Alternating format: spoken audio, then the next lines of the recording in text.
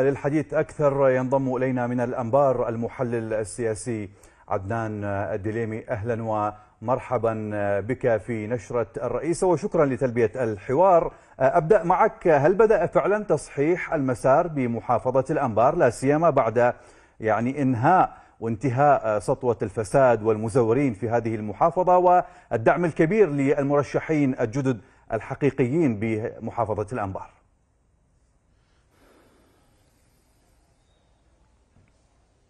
أهلا وسهلا بكم. تحية لكم ولمشاهدي قناتكم الكرام.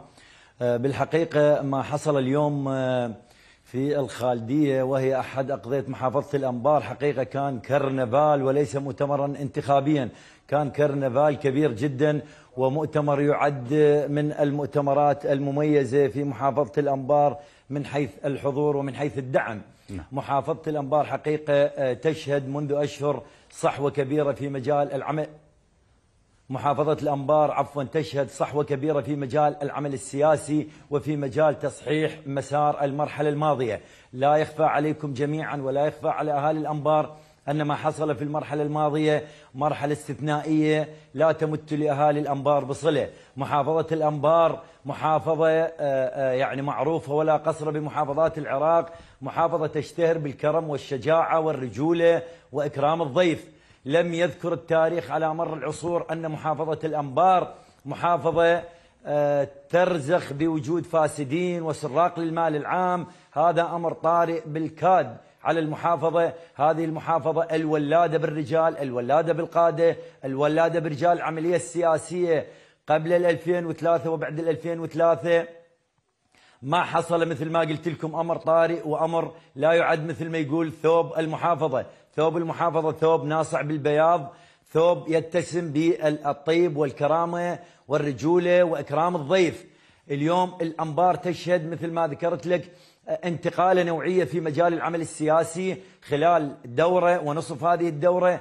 كانت الأنبار محكومة من قبل حزب واحد وكان المتسلطين على المحافظة وإدارات المحافظة بأقضيتها ونواحيها ودوائرها لا يخفى على الكثير وعلى عموم المحافظة المن كانوا ينتسبون والمن كان ولائهم والمن كانوا ينفذون الأجندة السياسية.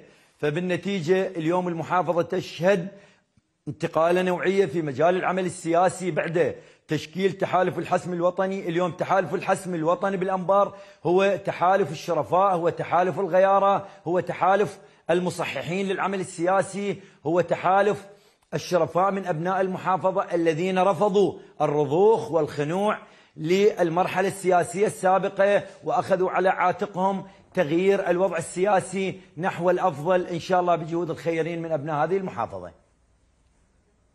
طيب سيد عدنان هذا الدعم الكبير من قبل العشائر لتحالف الحسم الوطني شلون راح ينعكس على واقع المحافظة؟ وأتحدث هنا عن المرحلة المقبلة تحدثت عن المرحلة السابقة التي وضعت المحافظة في دائرة الفساد. اليوم نحن مقبلون على مرحلة حقيقية جديدة يجب أن تكون الأنبار فيها المحافظة الأولى كما عرفناها.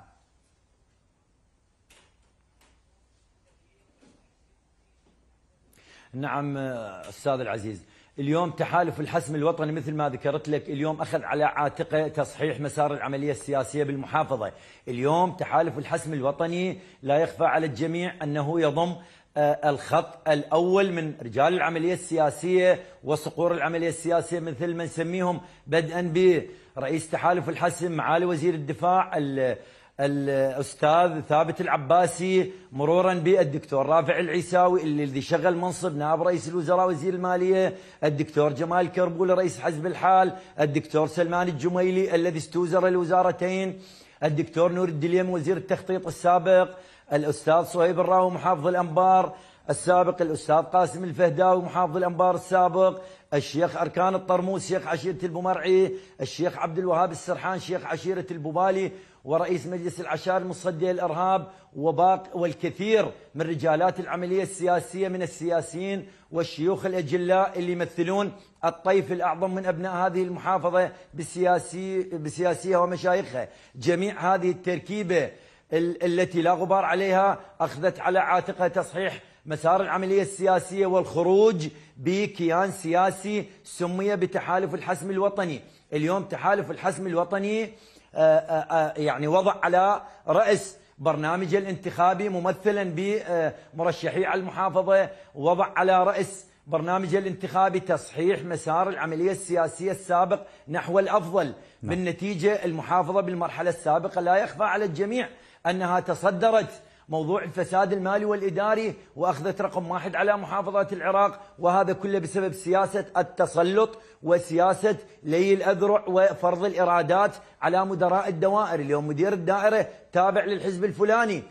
موارد الوز... موارد الدائرة ورجالات الدائرة وسياسة الدائرة ترسم ليس على أساس المصلحة العامة للمحافظة لا لا وألف لا ترسم على أساس سياسة الحزب الحاكم في المحافظة طيب. لذلك شاهدنا هذا ولاحظنا. لاحظنا هذا التعثر بمسيرة العملية السياسية بالأنبار الذي ولد للمحافظة الويلات والثبور من إقصاء وتهميش وإبعاد الآخرين عن تصدر المشهد السياسي وذلك بسبب آه، الولاءات لذلك نكرر ونقول أن تحالف الحسم الوطني اليوم إن شاء الله أهالي الأنبار وشرفاء الأنبار ينظرون على أن تحالف الحسم هو التغيير تحالف الحسم هو تحالف التجديد تحالف الحسم هو تحالف النهضة نعم. لمحافظة الأنبار على كافة المجالات طيب في ظل آه، ما تفضلت به وهذه الشخصيات التي ذكرتها والتي آه، ستمثل المحافظة في المرحلة المقبلة لكن في المقابل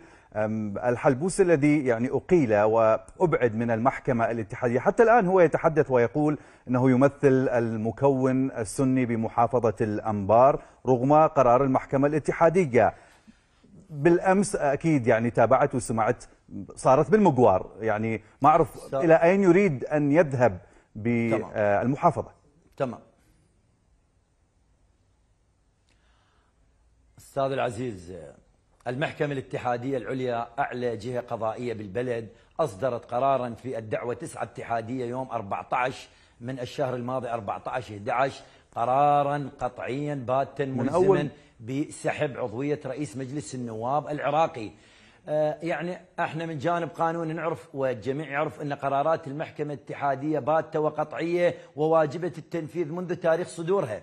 رئيس مجلس النواب السابق سحبت عضويته وأصبح الآن لا يتمثل بأي صفة رسمية برلمانية ولا تشريعية ولا سياسية.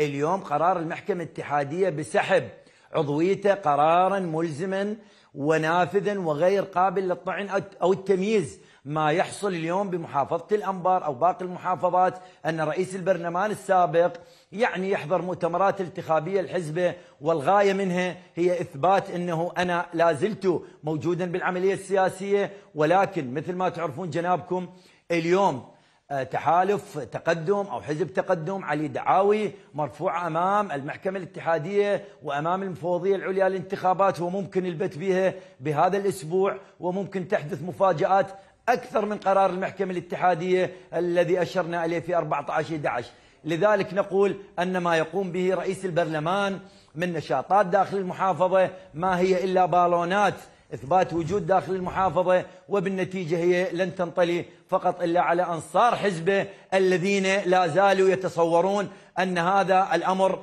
آه، يعني حقيقة مدى يدخل لدماغهم أن رئيس حزبهم تمسحب عضويته وإنه مدى يتقبلون الصدمة ولكن نقول لهم من خلال من خلال قناتكم الكريمة نعم. أن رئيس البرلمان أصبح رئيسا سابقا للبرلمان وما عاد يتمتع بأي صفة تشريعية وأن القادم من الأيام يحمل مفاجآت أكثر. اذا من الأنبار المحلل السياسي عدنان الدليمي كنت ضيفا كريما في نشرة الرئيسه شكرا جزيلا لك.